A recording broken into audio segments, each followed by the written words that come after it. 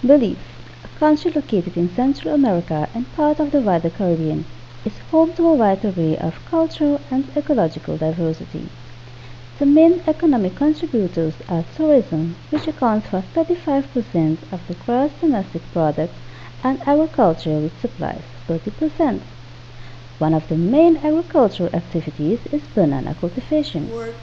Belize's major export market for bananas is the European Union under the Economic Partnership Agreement. Bananas are produced throughout the year and exported each week. In 2010, 4.5 million boxes of bananas were produced, contributing 35 million US dollars in revenues. Approximately 10% of total employment in Belize is related to the banana industry. Trio village located in the south of Belize is one of the areas where banana cultivation is dominant. Water is a critical component in banana cultivation used in irrigation and processing activities. The Go Bananas Plantation 6, which occupies 350 acres, utilizes water extracted from the river. The water is pumped at 40 pounds of force per minute when there are insufficient amounts of rainfall to water the crops. This water is distributed to the plantations via sprinkler system where some 990 sprinklers are operational every hour. An optimum quantity of water is necessary for efficient plant growth. Mr. Rodolfo Morales highlights this point. normal que necesita. Porque si no hay el banano, si no hay drenajes, si hay más agua en el suelo, se enferma más ligero la hoja. Y la compañía, si una planta de banano solo tiene tres hojas, ya no quiere comprar el banano, hay que botar el banano y dejarlo. The large leaves of bananas use a great deal of water. As a result, regular deep watering is needed especially during dry weather, stressing the importance of water in this process. Once the banana is ready for harvesting, the stalk is cut and transported to the processing area via a pulley system.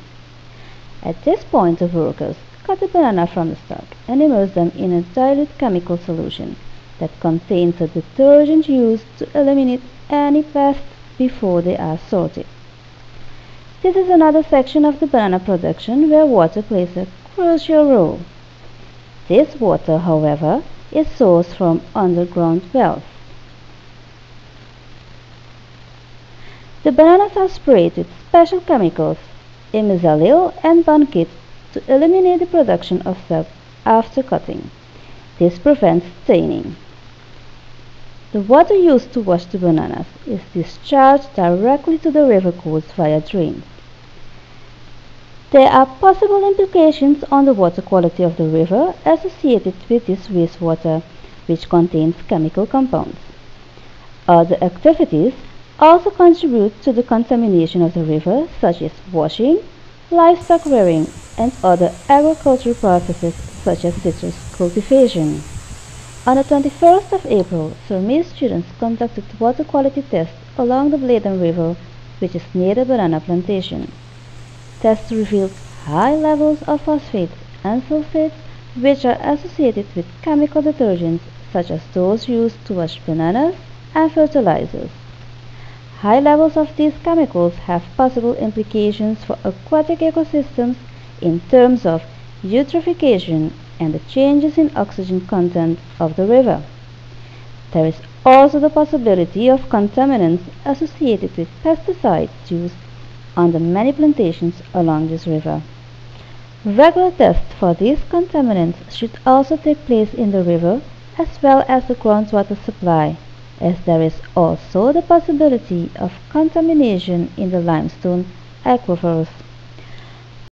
Water is a resource which many take for granted, despite its indirect influence on economic growth. The banana industry, which sustains many livelihoods, and contribute substantially towards the economy cannot survive without this precious resource. However, attention needs to be placed on regulating the outflow of contaminated wastewater from these operations into the environment, as this has implications on freshwater ecosystems which houses many natural treasures.